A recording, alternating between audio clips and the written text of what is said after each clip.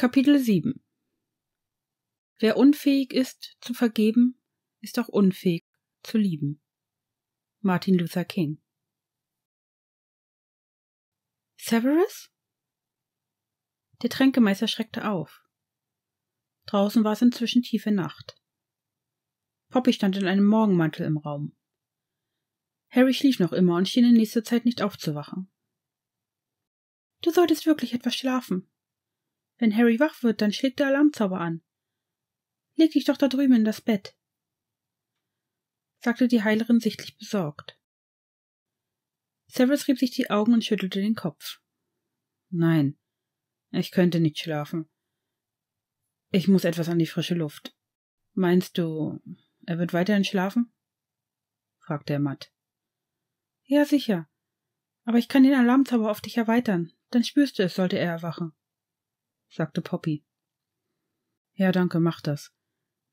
Ich, ich bin bald wieder da, sagte Severus, sah ein letztes Mal zu Harry, griff seinen Mantel und verließ den Krankenflügel. Madame Pomfrey sah ihm nach, dann trat sie an das Bett des Jungen und strich ihm sanft über den Kopf. Ihr schafft das, flüsterte sie.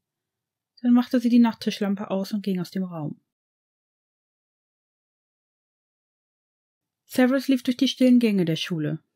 Er stieg die Treppe hinauf und stand bald vor der Tür, die auf den Astronomieturm führte. Er streckte zögernd die Hand aus und öffnete diese. Kalter Wind schlug ihm entgegen, als er auf die Plattform trat. Der Schneefall hatte nun aufgehört und Sterne funkelten am klaren Himmel. Cyrus ging zur Brüstung. Man konnte auch jetzt noch sehen, wo Harry gestanden haben musste. Auf einem Teil der Balustrade lag weniger Schnee als auf dem Rest. Cyrus strich kurz über die Stelle und atmete tief ein, als er Schritte hinter sich hörte. Erschrocken drehte er sich um. Arges Filz stand dort mit einer Laterne in der Hand.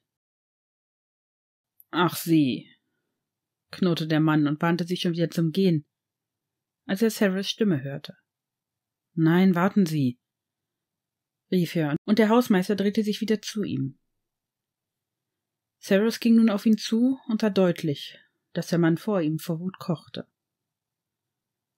Ich, ich wollte Ihnen danken für das, was Sie für meinen für Harry getan haben, sagte er dann seltsam schwach.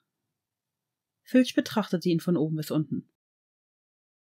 Glauben Sie nicht, dass ich es für Sie getan habe, nur damit Sie sich jetzt nicht vorwerfen müssen, den Jungen in den Tod getrieben zu haben.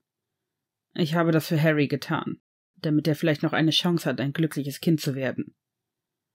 Bitte, unterbrach Ferris den Hausmeister nun, aber dieser schüttelte den Kopf. Nein, Sie hören sich das jetzt bis zum Ende an, sagte er und ging näher, was Severus dazu veranlasste, etwas zurückzuweichen. Sie haben Ihren eigenen Sohn im Stich gelassen. Sie haben ihn ignoriert, verhöhnt und vernachlässigt. Sie haben ihm über Jahre keinerlei Zuneigung gezeigt. Und versuchen Sie es nicht zu leugnen. Ich weiß es auch, ohne dass Harry es aussprechen musste. Sie haben ihn aber vor allem nicht beschützt. Beschützt vor den Schülern, die ihn mobbten und ausgrenzten, weil er ihr Sohn ist. Sie haben nie auch nur in Erwägung gezogen, dass er ihre Hilfe braucht. Warum auch? Sie lieben ihn nicht und haben es nie getan. Und was wollen Sie jetzt? Mitleid, weil Ihre eigene Kindheit und Jugend verkorkst war? Verständnis, weil Lily Potter Sie verließ? Haben Sie je Mitleid oder Verständnis für Harry gehabt? Nein, denn sonst hätte Ihr elfjähriger Sohn nicht heute Morgen hier auf dieser beschissenen Brüstung gestanden um seinem Leben ein Ende zu setzen. Phils Stimme zitterte vor Wut. Und doch war er mehr als überrascht, als er die Tränen sah, die Severus Wangen hinabliefen. Ich. Sie haben recht, sagte dieser mit brüchiger Stimme. Es ist allein meine Schuld, dass er, dass er hier oben stand. Ich hätte ihn beschützen müssen, und das nicht erst, seit wir hier in Hogwarts sind. Ich habe so lange versucht. Ich wollte doch, dass er glücklich ist, dass er es besser hat als ich, aber am Ende habe ich versagt. Ich bin der Vater geworden, der ich nie sein wollte. Und es war immer meine größte Angst, so zu werden wie wie mein Erzeuger. Aber mit einer Sache haben Sie Unrecht, sagte der Tränkemeister nun und sah auf. Fragend sah Filch ihn an. Ich liebe Harry und habe es immer getan. Warum glaube ich Ihnen das nicht? fragte Filch nun. Das müssen Sie nicht. Aber es ist die Wahrheit, und ich würde jedes Veritaserum in dieser Schule schlucken, um es zu beweisen, sagte Severus nun mit fester Stimme. Eine Zeit blieb es still zwischen den beiden Männern. Nur der Wind, der durch die Lücken der Sandsteine pfiff, machte ein Geräusch. Haben Sie mir das je gesagt? Haben Sie ihn je in den Arm genommen und gesagt, ich liebe dich? fragte Filch, und zum ersten Mal war seine Stimme nicht voller Wut, sondern es klang Resignation daraus. Severus sah ihn an, blieb aber stumm. Ja, das dachte ich mir, sagte Filch, griff wieder nach der Laterne, die er auf dem Boden abgestellt hatte, und wandte sich ab. Aber bevor er den Turm verließ, drehte er sich noch einmal zu dem Tränkemeister. Meine Großmutter sagte immer, wer unfähig ist zu vergeben, ist auch unfähig zu lieben. Vielleicht denken Sie einmal darüber nach, sagte er und ließ den Mann dann alleine. Severus sah ihm nach. Er kannte Filch schon, seit er hier zur Schule ging. Nie hatte er den strengen Hausmeister wirklich wahrgenommen. Nie auf jeden Fall als Menschen, der offenbar sehr einfühlsam war. Die Worte des Mannes hatten ihn tief getroffen, denn sie waren wahrer, als Severus sich eingestehen konnte. Ein letztes Mal sah er noch zur Brüstung, dann wandte er sich ab und ging wieder ins Innere des Schlosses. Mom? Als Draco am nächsten Morgen beim Frühstück saß, spürte er noch immer die Anspannung seiner Eltern. Am gestrigen Tag hatten sie ihm nicht genau gesagt, was los war und warum Severus so schnell abgereist war. Nur, dass es Harry wohl nicht gut ging. Es musste wirklich schlimm sein, so wie Lucius reagiert hatte. Und doch wollte keiner seiner Eltern genau sagen, was passiert war. Ja, mein Schatz? fragte Narzissa und lächelte matt. Was ist denn nun gestern passiert? Ihr seid so komisch. Was ist denn mit Harry? Geht es ihm gut? fragte Draco nun flehend. Narzissa sah sorgenvoll zu ihrem Mann, der seufzend seine Kaffeetasse abstellte, um den Tisch lief und sich neben Draco setzte. Dieser sah ängstlich zu seinem Vater. Draco, dir ist doch sicher aufgefallen, dass es Harry in der Schule schwer hat, oder? fragte Lucius. Ja, also er hat keine Freunde und ich glaube, die anderen ärgern ihn. Aber Onkel Seth, Onkel Seth ist auch gemein zu ihm. Erschrocken hielt sich Draco die Hand vor den Mund, aber Lucius zog sie sanft weg. Schon gut, du hast ja recht. Weißt du, dein Onkel Severus, er. Er kann seine Gefühle nur schwer zeigen, und er hat Harry sehr Unrecht getan. Auch wir wussten das lange nicht. Aber du hast recht. Die anderen Schüler haben Harry übel mitgespielt. Und Severus hat ihm sehr wehgetan, und das über eine lange Zeit. Hat, hat er ihn geschlagen? wollte Draco entsetzt wissen, aber Lucius schüttelte sofort den Kopf. Nein, das würde er nicht tun. Aber man kann Menschen auch auf andere Weise wehtun. Weil er ihn hier nicht mit hergenommen hat und so? fragte Draco. Ja, zum Beispiel. Offenbar hat hat er ihn auch nie so richtig in den Arm genommen oder ihn getröstet, wenn er traurig war. Aber, aber warum denn? Er hat vorgestern am Abend gesagt, dass er Harry mag. Aber wenn das so ist, warum hat er das dann alles nie gemacht? fragte Draco weiter. Schatz, das ist schwer zu verstehen und wir können es dir auch nicht wirklich erklären. Das kann nur Severus, sagte Narzissa sanft. Draco nickte und sah wieder zu seinem Vater. Aber, aber was ist denn jetzt mit Harry? Warum hat er, warum hast du gestern geweint? wollte er wissen. Lucius atmete tief durch. Weißt du, Draco, ein Mensch erträgt Seelenschmerz nur bis zu einem bestimmten Punkt. Irgendwann wird die Traurigkeit, die Angst und Verzweiflung einfach zu viel, um es noch auszuhalten. Ich kann dir nicht sagen, was Harry dazu bewogen hat, was der letzte Auslöser war, aber. Aber er hat gestern früh versucht. Er hat versucht, sich umzubringen. Schloss Lucius und seine Stimme zitterte. Draco sah seinen Vater fassungslos an und dann zu seiner Mutter. Aber, aber Mom, er, er, er lebt doch, oder?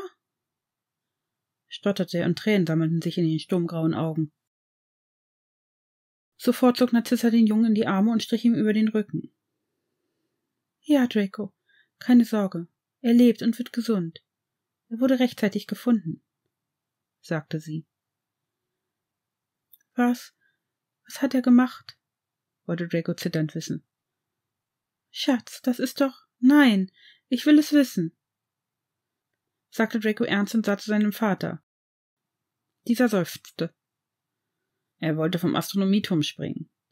Es wäre nichts passiert, da ein Zauber einen Fall oder Sprung verhindert, aber das wusste Harry nicht. Euer Hausmeister hat ihn rechtzeitig gefunden und gerettet, sagte er. Filch? Ich glaube, er und Harry sind irgendwie befreundet. Ich habe sie zusammen draußen am See sitzen sehen. Hätte ich nie gedacht, sagte Draco nachdenklich. Ja, manchmal lohnt sich ein Blick hinter die Fassade eines Menschen. Aber Draco, ich möchte, dass du mir jetzt gut zuhörst, sagte Lucius, kniete sich vor den Stuhl seines Sohnes und legte ihm beide Hände auf die Oberschenkel.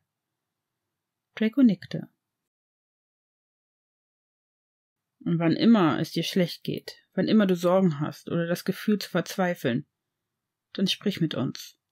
Wir werden immer da sein, immer einen Ausweg finden. Wir werden dir nie böse sein.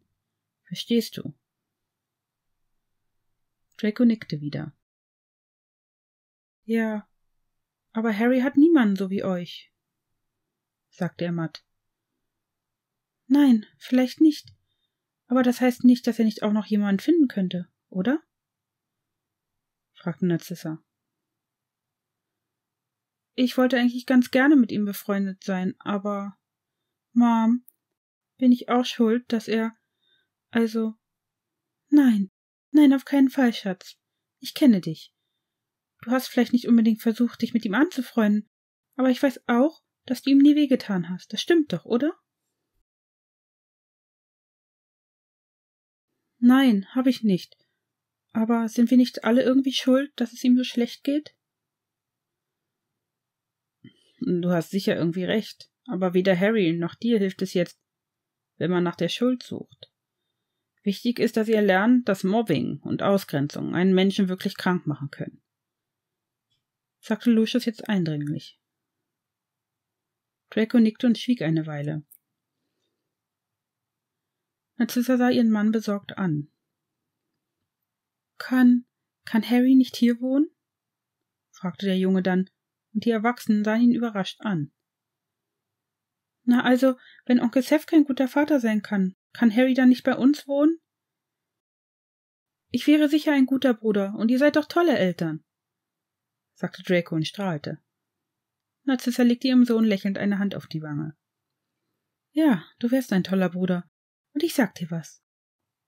Wenn Cyrus es wirklich nicht hinbekommt, und wenn Harry es auch will, ja, ja, dann kann er bei uns wohnen, sagte sie und sah sorgenvoll zu Lucius, welcher aber zustimmend nickte. Auch er hatte schon darüber nachgedacht, wie sie Harry und auch Cyrus helfen konnten. Nach allem, was er bisher wusste, würde es für beide schwer werden, eine einigermaßen normale Beziehung aufzubauen. Aber Lucius glaubte daran, dass Cyrus es schaffen konnte. Trotzdem wäre es vielleicht sinnvoll, wenn Harry in den Sommerferien erst einmal bei ihnen wohnen würde. Das ist toll. Und also darf ich jetzt den Besen ausprobieren? fragte Draco nun aufgeregt, und Lucius war froh, dass die Schwermut seinen Sohn nicht vollkommen eingenommen hatte. Sicher, aber nicht zu hoch und zieh dir was Warmes an, sagte Narzissa. Sofort sprang Draco auf und lief zur Tür des Esszimmers. Draco? Rief sein Vater, und der Junge drehte sich zu ihm. Du weißt, dass wir dich sehr lieb haben, oder? Ja, Dad, ich euch auch, sagte Draco und rannte aus dem Raum. Severus erwachte ruckartig. Irgendwann musste er doch eingeschlafen sein. Er lag jetzt auf dem zweiten Bett im Zimmer seines Sohnes, konnte sich aber nicht erinnern, wie er hierher gekommen war. Stöhnend setzte er sich auf und sah zu Harry. Diese lag noch genau wie am Tag zuvor im Bett und schlief. Ah, du bist wach. Poppy kam in den Raum und hatte eine Tasse in der Hand. Hier, Kaffee. Wenn du etwas essen möchtest, dann kann ich dir gerne etwas besorgen sagte sie und reichte dem Tränkemeister die Tasse mit dem heißen Getränk. Dankbar nahm Cyrus diese entgegen und setzte sich an den Rand des Bettes. Danke, und nein, ich habe keinen Hunger. Wie spät ist es denn? Schon bald zehn Uhr, sagte Poppy sanft. Wie bin ich in das Bett gekommen? Das war ich. Du hast halb auf dem Stuhl und halb auf Harrys Bett gelegen, als ich in der Frühe herkam. Da habe ich dich in das Bett schweben lassen. Danke dir. Wie geht es ihm? wollte Service dann wissen, stand auf und trat zu Harry ans Bett. Unverändert. Er ist stabil und. Lass ihm Zeit. Er wird bald aufwachen. Übrigens soll ich dir sagen, dass du bitte zu Albus kommen sollst, sobald du wach bist, sagte Poppy dann etwas verlegen. Severus seufzte. Ich will Harry ungern alleine lassen, sagte er. Er ist nicht alleine. Cyrus fuhr herum. Argus Phil stand in der Tür. Seine Katze, Mrs. Norris, lief leichtfüßig in den Raum, sprang auf Harrys Bett und legte sich neben den Jungen. Der Hausmeister ging nun näher und setzte sich, ohne Cyrus weiter zu beachten, auf den Stuhl, der neben dem Bett stand. Oh, okay, also dann danke, sagte der Tränkemeister und sah zu Poppy, die lächelnd nickte. Er blickte ein letztes Mal zu Filch, dann verließ er die Krankenstation und lief hinauf zu Dumbledores Büro. Nachdem er das Passwort gesagt hatte, gaben die steinernen Wasserspeier die Treppe frei, und Severus stieg hinauf zum Büro. Er klopfte, ehe er die hölzerne Tür öffnete. Severus. Sehr schön, komm doch bitte rein, bat der Direktor und wies nicht wie sonst auf einen der zwei Stühle, die vor dem ausladenden Schreibtisch thronten, sondern auf einen der beiden Sessel, die vor dem großen Kamin standen. Zögernd setzte sich der Lehrer und auch Dumbledore nahm Platz. Wie üblich reichte er Severus eine Schale mit, Zitron mit Zitronenbonbons, aber der andere lehnte ab. Also, wie fühlst du dich? Hast du geschlafen? wollte der Direktor nun wissen. Ein wenig, und es geht so. Harry ist noch immer nicht aufgewacht. Ich mache mir wirklich Sorgen. sagte Harris matt. Albus nickte. Ja, das glaube ich dir. Ich hoffe, du konntest ein wenig deine Gedanken ordnen, sagte er. Ja, ich denke schon. Argus hat mir einen ordentlichen Einlauf verpasst. Kaum zu glauben, aber er scheint ein sehr viel engeres Verhältnis zu Harry zu haben als als ich. Nun, das ist wohl nicht so schwer, denke ich, oder? In der Stimme des Mannes glaubte Severus einen Anflug von Wut herauszuhören. Ja, wohl nicht, sagte er daher schuldbewusst. Severus, ich möchte ehrlich mit dir sein, aber das, was ich gestern erfahren musste, hat mich tief erschüttert. Da ist zum einen das systematische Mobbing durch die anderen Schüler, was ich keinesfalls tolerieren werde, aber viel schlimmer daran ist, dass du diesem Mobbing Tor und Tür geöffnet hast. Natürlich unbewusst, aber doch unentschuldbar. Hätte Harry in dir jemanden gesehen, dem er vertraut, dann wäre es nie so weit gekommen. Aber er scheint unter deiner Obhut vor allem gelernt zu haben, dass man bei Erwachsenen keine Hilfe, keinen Zuspruch findet. Denn sonst hätte er sich vielleicht Minerva oder einem anderen Lehrer anvertraut. Er kam nach Hogwarts in der Hoffnung, wenigstens unter den anderen Kindern so etwas wie Freunde und Vertraute zu finden, und wieder wurde er enttäuscht. Am Ende ist es doch erstaunlich, dass ausgerechnet Argus einen Zugang zu ihm fand. Was wäre gewesen, wenn dies nicht geschehen wäre? Was, wenn Argus kein schlechtes Gefühl gehabt und nach Harry gesucht hätte? Er wäre gesprungen, da bin ich sicher, Und auch wenn der Zauber ihn zurück auf die Plattform geworfen hätte, was hätte es mit dem Kind gemacht? Wann wäre er gefunden worden? Sicher, wir alle haben uns in gewisser Weise mitschuldig gemacht, aber du, Severus, du trägst die Hauptlast. Neben mir. Verwirrt sah Severus nun auf. Die Worte des Direktors trafen ihn tief. Aber warum sah dieser die Schuld auch bei sich? Ich hätte sehen und spüren müssen, dass du mit Harry nicht umgehen konntest. Spätestens, als du vor zwei Jahren herkamst und ihn von vielem fernhieltst. Ich dachte damals, es sei, weil du ihn um jeden Preis schützen wolltest, aber nun. Severus, ich bot dir damals Hilfe an. Du hättest kommen können. Ich flehte sie doch an, ihn zu nehmen, rief Severus mit Tränen der Verzweiflung in den Augen. Sie lehnten ab. Ich wusste, dass ich es nicht konnte. Und es lag nicht an Lily oder James, es lag an mir. Ich hatte nie einen Vater, der mich liebte. Ich wusste nicht, wie man einer war. Als Lily schwanger wurde, da hatte ich mehr Angst als je zuvor. Aber mit ihr an meiner Seite hätte ich es geschafft, aber ohne sie? Meine Mutter liebte mich, war aber so in ihren Depressionen gefangen, dass sie mir irgendwann nicht mehr beistehen konnte. Und mein Vater, der mich schlug, beschimpfte, mir einredete, dass aus mir nie was werden würde, mir die Schuld am Severus brach ab. Er atmete schwer. Die Erkenntnis traf ihn wie ein Blitz. Er gab dir die Schuld am Tod deiner Mutter. Und dasselbe hast du mit Harry getan. Nicht wahr? Elvis Stimme war nun wieder sanft. Severus sah auf und schloss die Augen. Ich wollte das doch nie. Ich wollte. schluchzte er. Ich glaube dir. Und doch müssen wir über etwas sehr Wichtiges sprechen, sagte Dumbledore nun. Severus nickte verhalten. Was geschehen ist, kann ich nicht verheimlichen. Ich muss es dem Ministerium melden, denn spätestens, wenn die Lehrer nach den Ferien das Thema mit ihren Schülern aufarbeiten, wird es publik. Du weißt, wie viele Kinder von Ministeriumsangestellten hier zur Schule gehen. Ja, ich verstehe, sagte Severus. Ich weiß nicht, ob du wirklich verstehst, was das bedeutet, Severus, sagte Albus ernst und der Tränkemeister schluckte schwer. Du solltest dich damit auseinandersetzen, dass das Ministerium eventuell entscheidet, dass Harry bei dir nicht mehr gut aufgehoben ist. Und wenn ich ehrlich bin, dann dann bin ich zum jetzigen Zeitpunkt derselben Meinung, sagte Albus, und man spürte, wie sehr er um Worte rang. Severus fühlte wieder den Knoten im Magen.